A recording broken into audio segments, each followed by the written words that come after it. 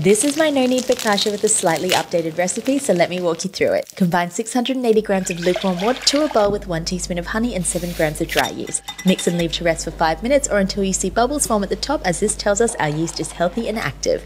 Combine the yeast water into a bowl with 700 grams of flour and 12 grams of fine sea salt. Focaccia is a high hydration dough, and my recipe sits at 97% hydration, which means we are working with an extremely wet dough.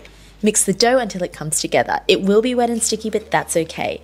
Cover the dough and leave to rest for 10 minutes. Uncover and begin the first round of stretch and folds to help strengthen the dough. Stretch a piece of dough, fold it across itself, turn the bowl, and repeat until a smooth ball forms. Do this step twice. Drizzle with olive oil, cover very well, and leave to proof in the fridge for up to 72 hours. The dough will develop flavour and double in size.